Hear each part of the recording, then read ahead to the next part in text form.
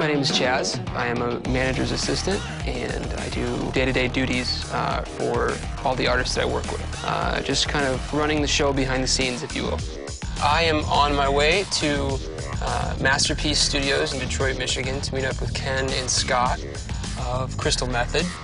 Working on Regeneration has been great. To be able to be in the studio with the guys in Martha Reeves, it's, it's been inspiring. It's like a history lesson we want to find something that's that that matches the horns a little bit. Okay. Um, there's a couple places. Uh, Al, where's that? Yeah, Uh, well, there's a one record shop on what we're called Vintage Records. Vintage Records. Yeah. So if you have any, like, just give us a call if you if you uh, have any questions. Yeah, for sure. Uh, I believe I'm going on a journey today to find them some Motown records.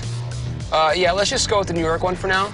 I will get in touch with her then. I'll let you know. All right, thank you. I'm not from Detroit, so this is the birthplace of Motown. Sure, they've got some pretty epic record stores here. How you doing? Good, how are you? Good. Good. I'm looking for something with a great horn section in it.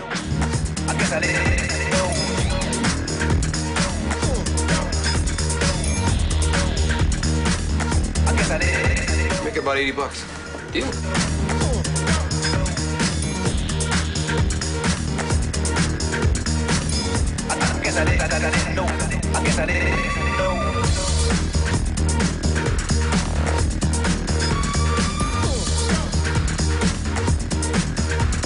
Music is a big part of my life.